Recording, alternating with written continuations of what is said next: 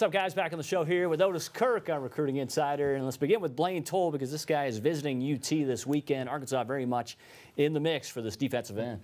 Yeah, Blaine, uh, Blaine was at Arkansas last weekend, and he's at, as you well, he was there Wednesday, Thursday, and Friday. And as you said, he's at uh, Tennessee this weekend.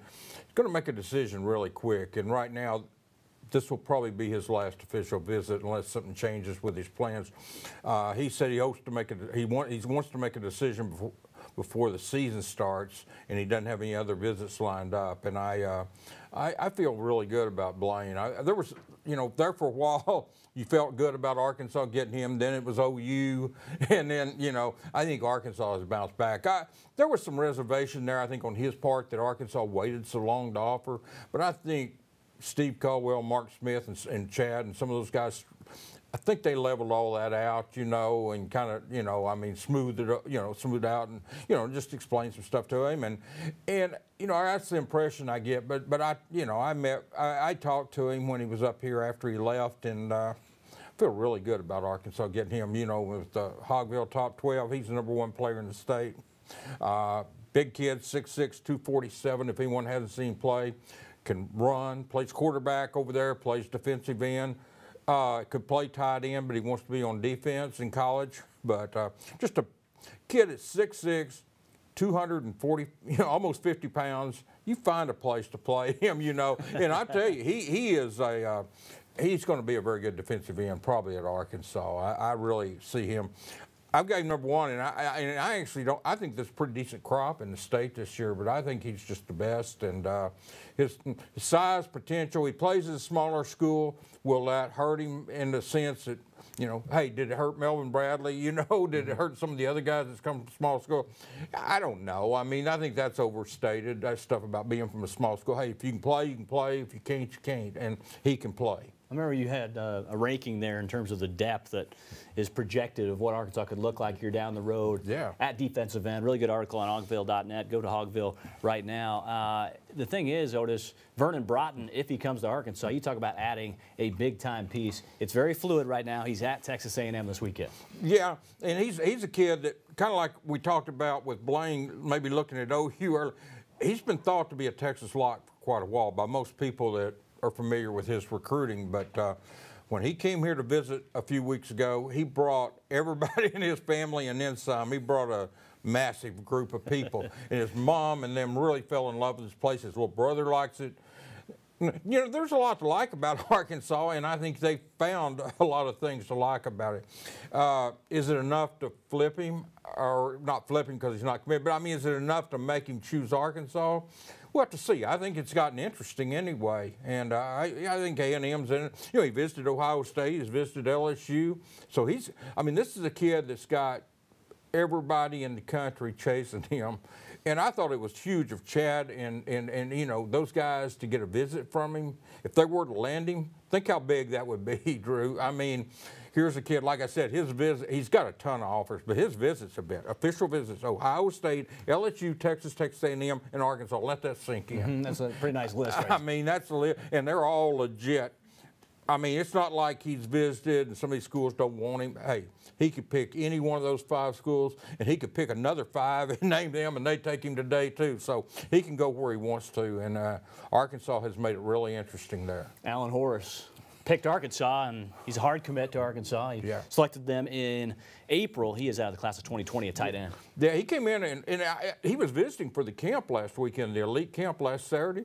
But he came in and worked out at that camp. I was a little surprised because a lot of times, the, you know, like Ty Keith was here during one of the camp, but he didn't work out. But Allen actually went through the camp, so I got to see him catch passes and run routes, and well, you could just look at him out there, and you could see the athletic ability. You know, this kid's a good basketball player uh, good football player, and you could just see what Arkansas and all these other schools, you know, saw in him.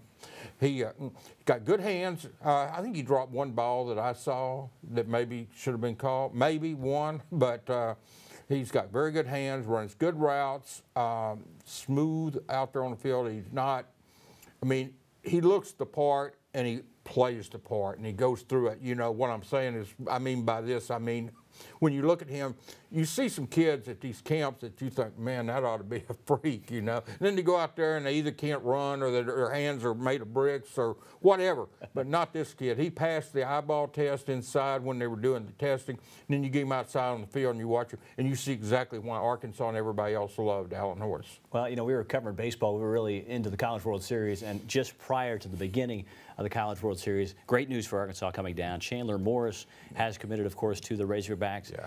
Son of Chad Morris, and he's going to be at the Elite 11. That's later this week. Yeah, that's at Frisco, and it starts Friday. It's at Star there, if anyone's interested. But let me tell you, uh, if, if, anyone in that area is, you know, down that area and wants to go by and see him, I'm sure you can get in there and watch him perform. Uh, Jacoby Criswell from Morrilton will be there too. Haynes King from Longview. But uh, by our, I got with some other recruiting guys, and we were talking by our by what the, everybody's figured out, Chandler Morris will be the first Arkansas commitment to go to the Elite 11. I wondered about Mitch Mustain, but I don't think they had this like this Elite 11 back then. So I guess Chandler will be the first one. But uh, yeah, he chose Arkansas, and, uh, and and he also he went through the passing academy version of the camp that uh, Friday. He committed on Friday. And then he worked out that evening, that day at the passing academy. He, uh, I'd seen him play, but he, he, you know, he there again. When you see a guy like Chandler Morris and Allen Horse out here at these camps, you know why Arkansas and Oklahoma, Clemson, you know, schools, Auburn, Alabama, you know, why big time schools came after these kids because it's so obvious. I mean, they they look, they do the part out there on the field, and Chandler was making all the throws at that passing academy. He he he he's a real deal, and to get a dual threat quarterback, you know, I mean, that's what Arkansas really envisions in this offense. Right now, they're using the best quarterbacks they've got available. But when you get, eventually, they're going to get to the point that where the dual threat is the direction they're going. And, you know, KJ Jefferson, Chandler Morris, those guys, they fit that direction. Yeah, all the stars line up in terms of the system they want to run. All right, the Woo Pig Nick. It's coming up July 26th, and this is a big time cookout. Tell me a little bit more about this. Yeah, it's a deal where you know you smell the food cooking, but you know you wish you were there. You wish you were a recruit, but there's not a big demand. My, Chad Morris probably not going to offer a five nine old man, so you know I mean just clean those steaks or something, man. But I, I'll have to go buy me one down at the store. But no, uh, guys like Mark. Uh, Alan Horse and Chandler will be here, but Martavius French, Bryson English, Bryson English, Eason. Yeah, I can't talk. Bryson Eason. The top, those are two linebackers from Memphis Whitehaven. He and French, they're both going to be here for that, and those are priorities for John Chavis and his staff, and Ken Ingram and stuff to get those two linebackers on board. They'll uh, they'll be here. Jashad Stewart will be here from Jonesboro. Already committed. Yeah. Uh, To uh, Arkansas, yeah. Brandon Frazier, the tight end from uh, uh, Texas, committed to Arkansas, will be here. There's going to be a bunch of kids here. This is, uh, you know, another kid, you know, that, uh, you know, these. Right now, where they're at in this li- class, they really need linebackers, and that's where French and Eason come into play. And, you know, you want to get them on board because if you do, that gives you two at that position, and I imagine they're going to try to sign three or four because they're short on depth at that position, you know. So that's just some uh, guys at that picnic that uh, they're going to want to try. It's, it's going to be Landon Jackson is a 2021 kid. Now he's not 2020 like all the other kids we've talked about, but Landon Jackson is going to be a is a big time defensive lineman from Pleasant Grove, Texas, just outside Texarkana, and uh, he's he's got offers to everybody as well. He's going to be here for that, and he is just uh, he he's just he's a dominating defensive lineman. He's much like a Broughton, a Blaine Toll, someone like that. I mean, he can just dominate. That's- He'll be here, so it's going to be a good group. Uh, and they'll keep, and they're, they've added more names, and they're going to keep adding names to it. As it's probably a, it's about a month away, as you said now, and uh, it's just something to keep an eye on because right now that's probably one of the next big events over there. You know, they had their camps all last week. There was a ton of camps, and uh, they extended, you know, a few offers from the camp, but mostly it was just uh, bunch of kids getting to learn a lot of good fundamentals. They had a very good camps for linemen, specialists was with Sunday before, but specialists, linemen, receivers, passing academy, the elite, know, where they had coaches from all the schools here. Drew, that was so big for these kids, not just the ones that's going to Arkansas, but they had Arkansas, Arkansas State, they had Arkansas Baptist